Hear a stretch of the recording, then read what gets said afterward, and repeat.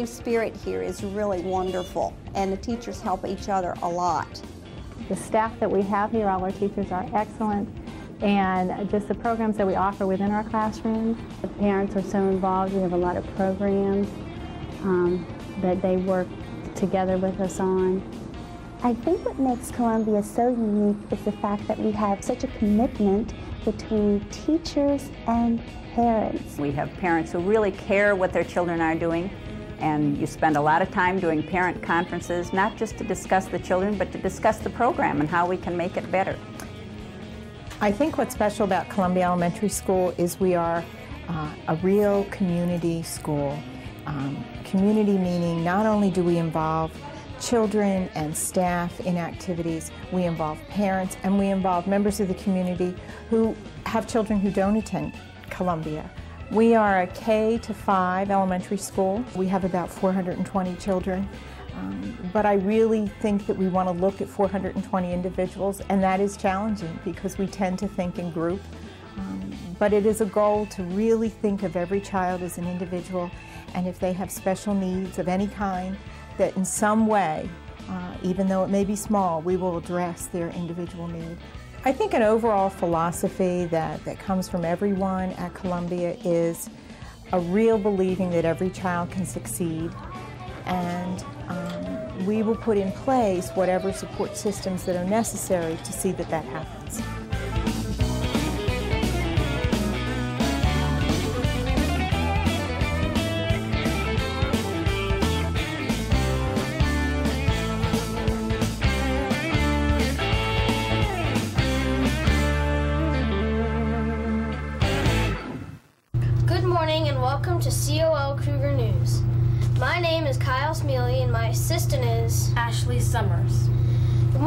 Temperature is currently 20 degrees and will get up to 32 today. On this day in 1919, Popeye the Sailor Man made his debut on a comic strip, Thimble Theater. Thomas Jefferson Buddies will be here today. Please come to the cafeteria at 2.15 if you have a buddy. Signing off and wishing you a great day. At Columbia, the Cougar Kindness Award was established to point students in the right direction by identifying role models for desirable behavior. You have to be in a right, real nice to um, get the Cougar Kindness Award and respect and help others. Every quarter of the year, your class votes for the person they think is the nicest person in the class if you get voted, then they put your picture in the showcase in the lobby. You also get a certificate and a pen. My class voted for me for me for being honest, respectful, and helpful. People re- look up to me and they'll know that if like they need help with something, if it's not like a test or anything, then they can ask me and I'll help them. And also that they will respect me and feel good. They won't think that I'll start to yell at them if they do something wrong. My class elected me for Cougar Kindness Award, and some of the class, some of my classmates said I was helpful, respectful, and considerate. And I really enjoy getting this award because now people look up to me and respect me more. I was chosen for Cougar Kindness because I was polite, thoughtful, and I don't interrupt. My family's proud of me that I won Cougar Kindness, and I'm also glad too. And I'll continue to be nice and kind and not mean and nasty. My classmates elected me for Cougar Kindness because I was helpful, uh, honest, and funny. It makes me it also makes me feel good because my friends in class in class like what I'm good at doing. Occasionally, student behavior is put to the test. To you the skit Red Riding Hood and the Wolf. The purpose of the skit is to sh- show you how peer mediation can help you solve conflicts.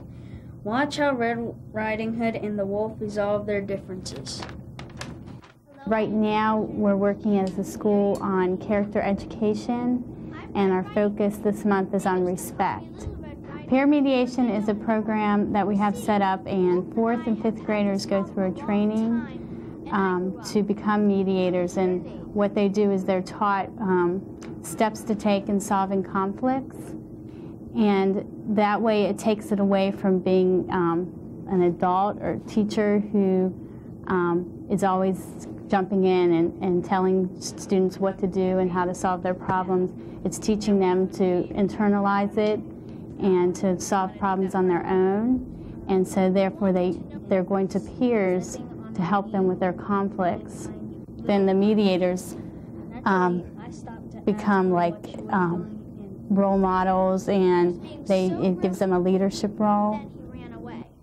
You were taking some you were taking some food to your grandmother on the other side of the woods, and and the wolf appeared from behind a tree and frightened you. Yes, that's what happened. Okay. Remember, Wolf and Red Riding Hood, you're, you're angry too, because we want to show that that when you come, like if it's a real conflict, the people that are going to come in to mediation are, are probably very angry. And not These were selected students um, who are going to perform a skit for the school to teach the, the students in the school about what mediation is about and um, what actually will happen when they come to peer mediation. There were two students who acted as mediators um, and then two um, characters who were actually in the conflict and one is Red Riding Hood and the other is the wolf. So it's a play off of, taken off of the story of Red Riding Hood and the Wolf.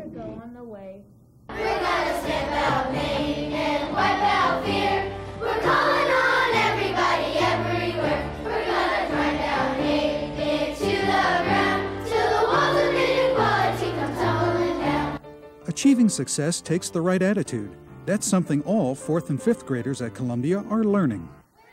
Uh, our play is really to in, in, uh, reinforce the five values that our school has made up uh, through the course of the year to emphasize um, respect, uh, patience, kindness, honesty, and responsibility.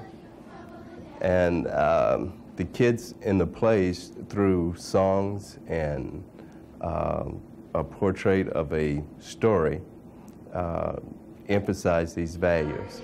When we present this production, it's also done with the PE department so that we incorporate rhythmic activities along with it and also part of the PE program of studies is linked with the music program of studies that we do units together in this particular production that we do every year. So you stomp and shake and throw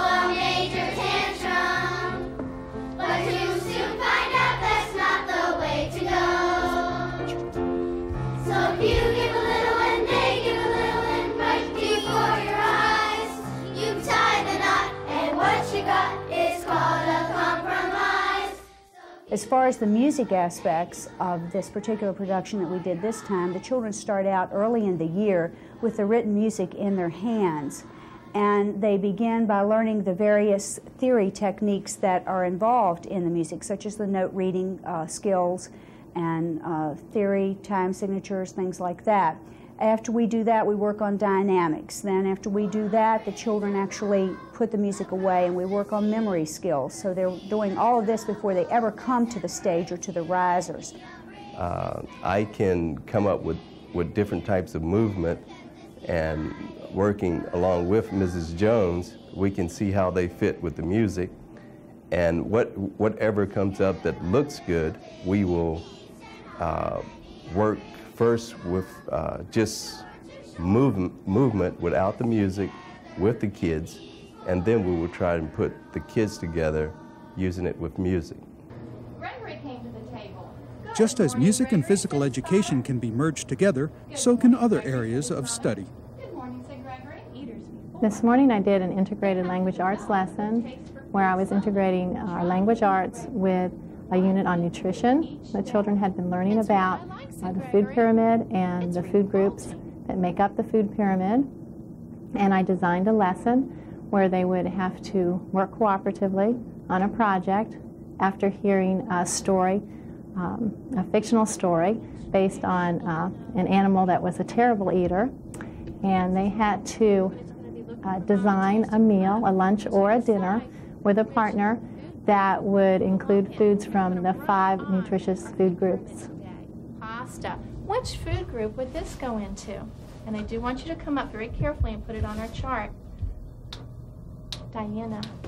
Uh, for one thing, it it makes it, everything a little more interesting when you you don't uh, segment all the different subject areas, and it lets children see the real world. We don't segment our world into uh, we're going to do a little math here, and we're going to be talking here. Our, our world is very integrated, and so I like to present uh, the curriculum in the same way.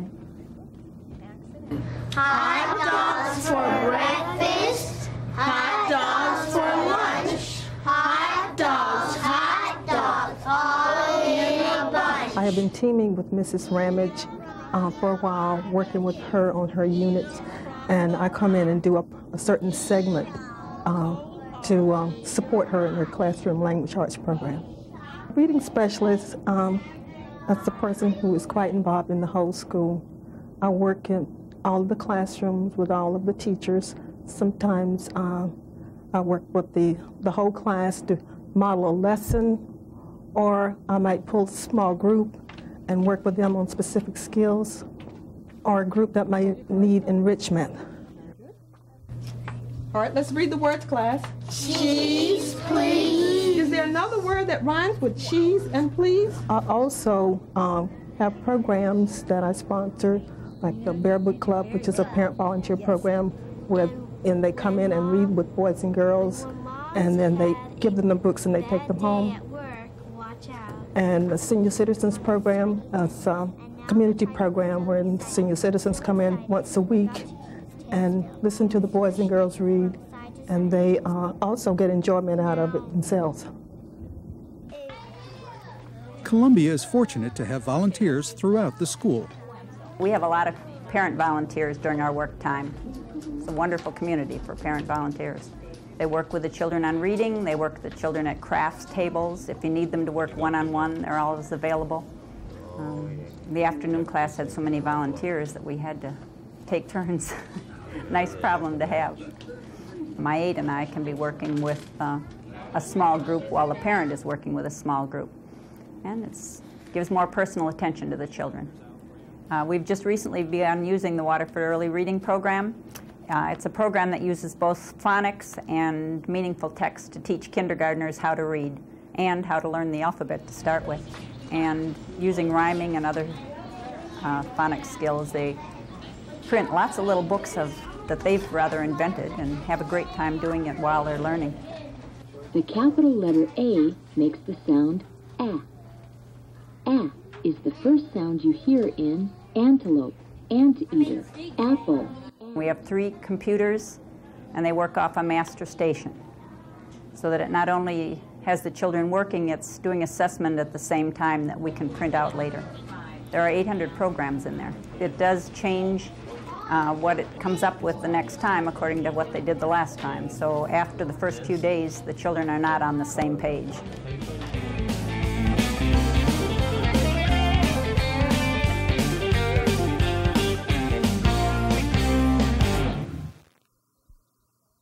Do you know what a slideshow is, Chris? Yeah, you, it's kind of like a movie.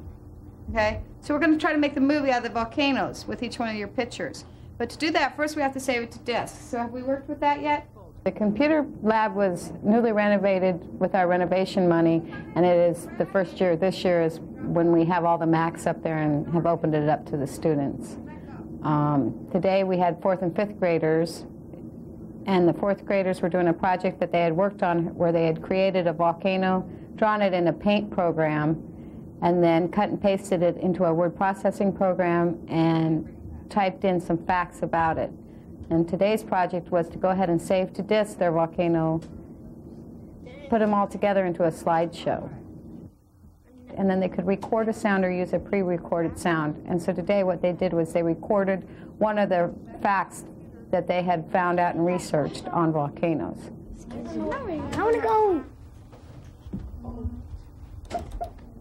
Back to your computer and copy it again. Did you guys, do you think you put it Do in a like different a folder? volcanoes have more, many more events than they have hundreds. Volcanoes have many more events than one. Volcanoes have many more events than one. Volcanoes are large vents in the earth. If you read the first question, it says, Who gives the web tour of the White House? So where do you think we're going first? The White House. The fifth grade class today was um, the first time that we did it as a group where they uh, surfed the internet. And today we were just trying to get them um, aware of the different places they could go and how quickly they could move from one area to another. Uh, it was the very beginning stages of it. We need to focus, after today, we're going to focus in on how they search and how, how they do search engine, use the search engines for their projects in class. But today was more of just a fun introduction. On today's lesson, the reason that we weren't using all of the computers was because of this, the time in the day that we were trying to access the internet. It's very busy, and and with us trying to get out of the building with 20 computers, um, it clogs it up and makes everything a lot slower. And so we were working with partners. Um, if we were working on any other project, then each each child would have their own computer, and that allows uh, me to know that they can they understand what I'm saying and that they're following the lesson because I can I can see on their screen what they've done. They learn so quickly, and they just they they love it. They haven't set up the walls that we have as adults to be scared of the computer, to be scared to learn the new things. They just it doesn't matter to them why it works. It just works and, and they accept that and go on and they just their creativity they just can move very quickly on the computer with it While the internet has become a modern search tool, the library is still the primary source for access to information. Okay, you have one minute. Walk. Bring me a book with that call number on it. My philosophy with teaching children the library skills is to try and make it fun. I want the library to be a place, the media center to be a place that children enjoy coming to visit and to find success in getting what they want to accomplish accomplished. I give them a call number to look up. Sometimes I say it aloud, and most of the time I do say it aloud to them when they come individually and ask for a book because um, they need to, to be able to respond to an oral instruction. And I gave them also a written piece of paper today because children learn in different ways. So you have the oral and you have the visual. The beeper sounding. I want you to take a book that's right in front of you and bring it here. If you're really close, you can get a point for it. The uh, nice fallout from that kind of a lesson is they get into a different section of the media center than they're usually in. Some of the students found books in the other section they wanted to check out. So right after the lesson, they came over and said, can I have this book? Can I have that book? Also use another technique in the lessons is having a group answer the question like, where would you go for 900 section so that it's sort of called dipsticking. You want to see how many students know where to go and it helps those who don't know how to uh, respond. The library also was an important resource for a fourth grade social studies activity.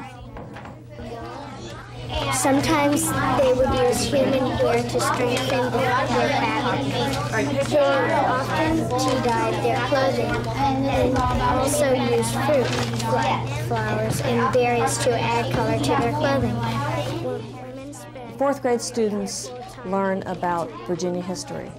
And in this case, they were learning Chapter 3, which is Native Americans of Virginia.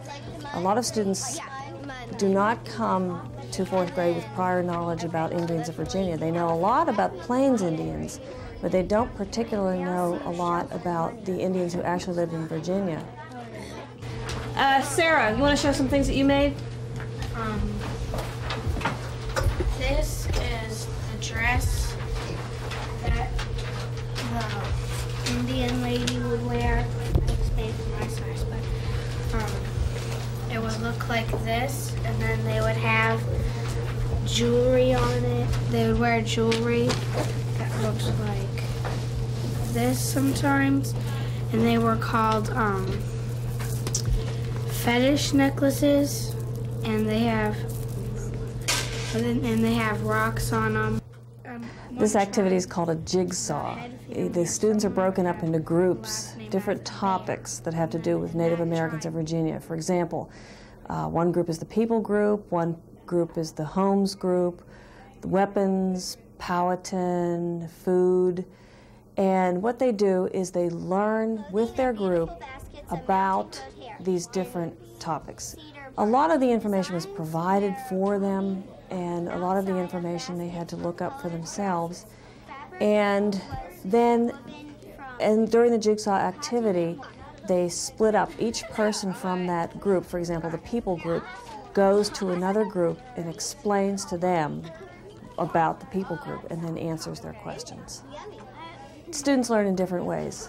Some students learn because they hear it, some students learn because they read it, some students learn because they've done the learning themselves, they've looked it up, and a lot of students, when they go ahead and say the information, when they actually present it, it makes it more permanent for them.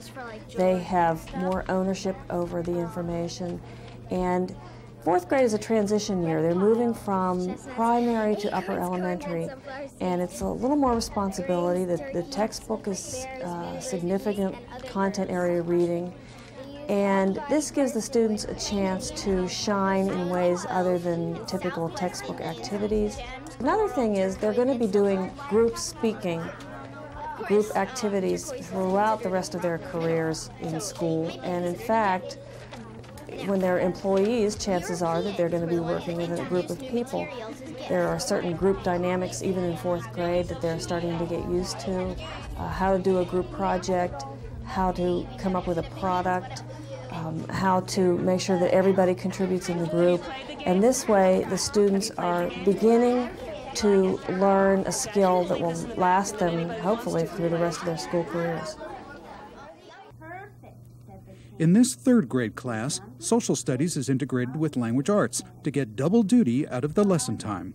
I am sorry, he said. I have no beautiful thing to show you. Ah, you are wrong, my son, the king said.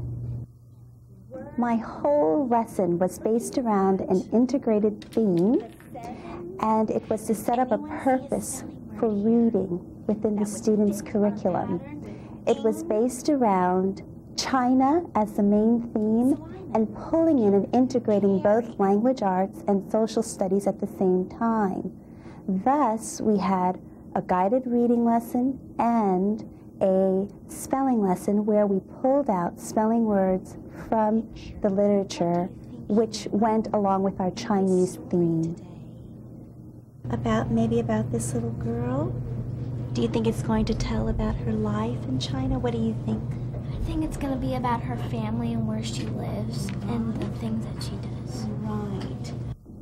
Guided reading is when the teacher will set up the purpose for the book, get the children excited about reading the book, introducing them to the title, the cover page, the pictures, the vocabulary, letting them see words which would not be familiar, look them up in the dictionary as a resource, and then let them read silently, and after all of that background knowledge is given to them, they'll find the reading easier and more meaningful. For the spelling activity, there were word patterns. Uh, one pattern was the ing. Also, we had words where you had to double the consonants and then add ed or ing. Um, that was a little bit harder for the children, but I think they are beginning to understand that patterning. They, at this age, seem to me to be so enthusiastic about what they do that you're constantly challenged to be very creative, keeping up with their interests, making them even more motivated to learn. Bounce it high, bounce it low, bounce it to the one you know. Language arts can also be integrated with music, as with this second grade class. Today, the boys and girls in my second grade music class did a review lesson with rhythm by bouncing balls. We had already previously learned songs.